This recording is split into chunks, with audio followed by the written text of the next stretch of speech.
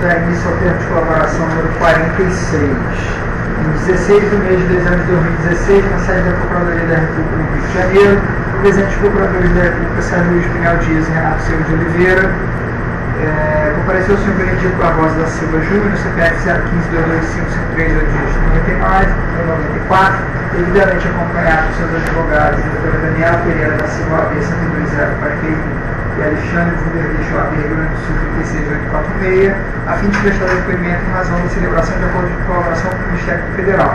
Nesse momento, todos os presentes são cientificados da proibição do uso de quaisquer instrumentos de gravação, registro de áudio ou vídeo próprios e declaram não estar fazendo uso oculto ou dissimulado de qualquer equipamento. Senhor as penas legais. Observadas todas as cautelas de sigilo determinadas atendidas aos trâmites da Lei 12.850, notadamente contra o disposto no artigo 4 a 7. Pergunta o senhor Benedito Barbosa da Silva Júnior. Os advogados ora presentes são seus defensores legalmente nomeados para assistir presente ato? Sim, senhor doutor. O senhor renunciou ao direito ao silêncio afirmando o compromisso legal dizer a verdade? O senhor pretende colaborar de forma efetiva e voluntária nas investigações e processos criminais nos termos firmados com o Ministério Federal? O senhor, junto de seus defensores, autoriza expressamente está ciente do registro audiovisual do presente ato de colaboração? Sim. O senhor está ciente que os efeitos de colaboração premiada dependem de um ou mais dos resultados previstos no artigo 4 da Lei 12.850 2013? O senhor, no tocante ao anexo parte 2, item 1.4.1, Paulo Artung, é, pretende responder as questões formadas? Então vamos às questões. No tocante ao anexo parte 2, item 1.4.1, Paulo Artung, o que o senhor tem a dizer? É, no ano de 2010, eu fui procurado pelo senador Paulo Atum é, com um pedido de ajuda para a campanha. É, na época, ele estava encerrando o mandato dele e não ia concorrer a nenhum cargo, mas ele tinha um grupo político em torno dele. É, me pediu uma doação, a relação era pessoal minha com ele, era uma pessoa conhecida do Senado, tinha uma relação saudável, muito saudável. É, fez o pedido que eu, eu me preparasse para pagar um milhão de reais para a campanha dos candidatos que o PMDB ia apoiar em 2010. É, eu perguntei quem seria a pessoa que nós deveríamos procurar para tratar disso, ele indicou uma pessoa da confiança dele, que era o Neivaldo Bragato. Eu coloquei o Sérgio Neves, que era o diretor superintendente que cuidava de Minas e Espírito Santo, em contato com o Neivaldo Bragato. E o Sérgio me informou que nós fizemos quatro pagamentos é, de 250 mil cada um. Foram feitos no Rio de Janeiro, é, em hotéis do Rio de Janeiro, em, em espécie, é, proveniente do sistema de operações estruturadas da Odebrecht, é, e que eu trago posteriormente vou explicar como corroboração as programações de pagamento executadas. É, o primeiro, o primeiro ilícito com relação ao Dr. Paulo Arthur foi esse. Em 2012, novamente, numa campanha é, na Prefeitura do Espírito Santo, ele me procurou, pediu uma contribuição para o partido, é, os candidatos que o partido iria apoiar em, em, em Espírito Santo. Eu autorizei, nós fizemos uma doação de 80 mil reais para campanhas é, do PMDB na, no pleito municipal do Espírito Santo. Essa, essa programação foi cumprida no dia 3 de novembro de 2012, em Vitória. O Sérgio Neves, que é o meu executivo, me informou que a pessoa que, que recebeu, fez a recepção desse dinheiro foi uma pessoa chamada Roberto Caneiro, que trabalhava no escritório de campanha do partido, do PMDB, lá em Vitória. Agora, é, todos os dois casos, de 1 milhão de reais e 80 mil reais, foi caixa 2. Foram caixa 2, é, os, dois, os dois foram sistemas, é, usando o sistema de operação estruturada nosso, é, via caixa 2 e lícito, doutor. Tá certo. Agora o governador, ex-governador, governador Paulo Artung, é, ele já deu um benefício concreto para o Odebrecht? Não, doutor. É, uma das pessoas que eu respeito muito é o doutor Paulo Arthur pela, pela forma como ele conduz a vida política dele. Então, é, a agenda dele, ele abria se eu pedisse. Eu era recebido, ele me ouvia, mas ele nunca, nunca se movimentou para fazer, dar um benefício direto ao Odebrecht. E, e aí, nesse caso, a relação era minha diretamente. Então, era muito correto nesse, nesse tratativo dia. Tá certo. O senhor trouxe algumas provas de corroboração. O senhor pode falar a primeira? A primeira é, é um extrato fiel do meu Outlook, que eu entreguei para vocês, é, e que dar todos os dados de é, forma de contato que eu usava para conversar com o Dr. Paulo, seja, os telefones, os e-mails, o e-mail pessoal dele, é, endereços onde eu me encontrava com ele. Então, é, é as secretárias que atendiam minhas ligações para marcar reunião com ele, que eram a Simone e a Deise.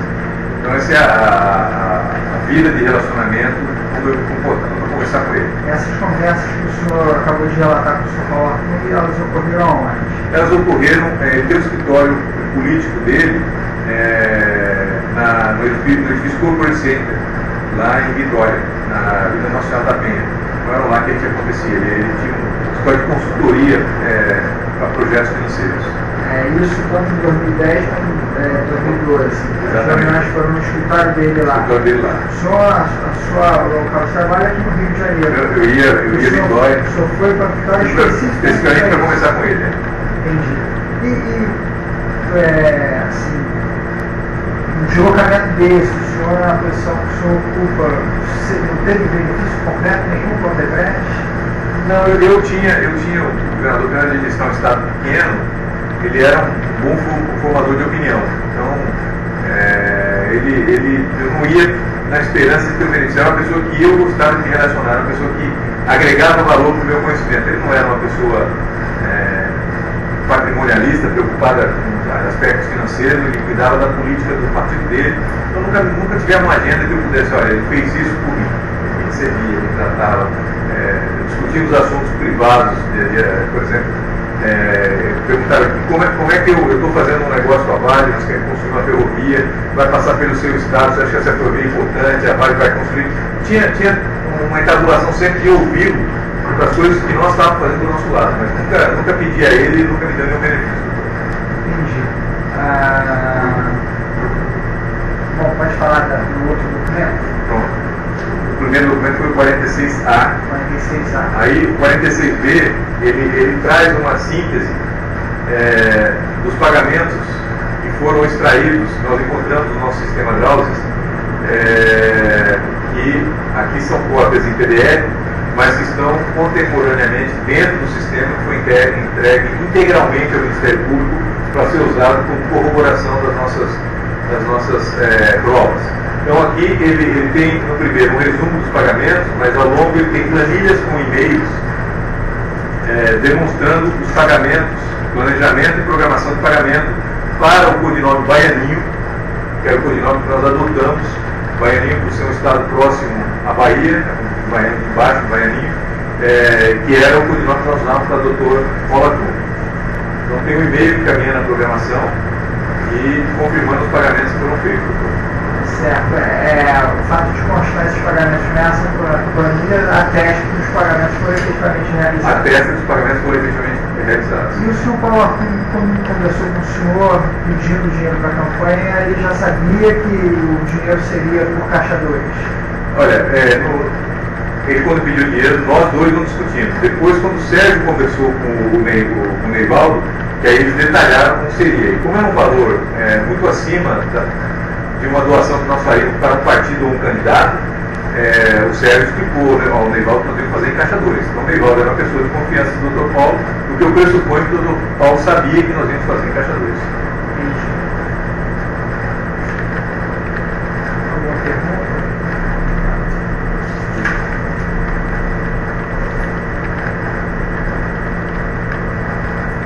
Esse, esse anexo era o 46 vezes. Tá certo. O senhor chegou a ter reunião com ele no Palácio do Governo? É, quando ele foi governador, nesse período, não, porque já não era mais, mas tinha, tinha no Palácio de Creio, Mas tratou de, de desses pagamentos com ele? Não, no Palácio não. Tratou disso sempre no, no escritório dele. escritório dele. Onde era o escritório dele? Na, na Avenida Nossa Senhora da Penha, no, edifício Corporate Tower, se não me engano. E onde foi feita a entrega desses valores? É, o, o 1 milhão de reais de 2010 foi, foram feitos em hotéis na Zona Sul de São, na, no Rio de Janeiro.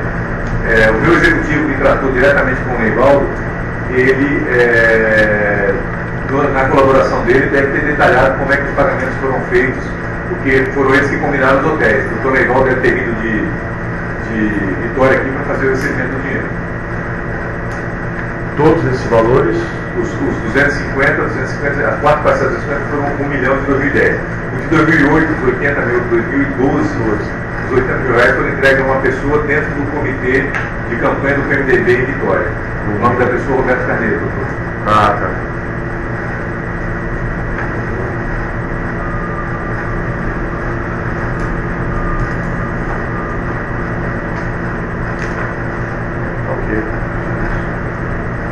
Senhor quer acrescentar alguma coisa? Os senhores advogados têm alguma pergunta a fazer? Enquanto respondidas as questões formuladas e nada mais havendo ser consignado, será agora encerrada a gravação audiovisual e seguida lido e assinado o termo também registro presente ato.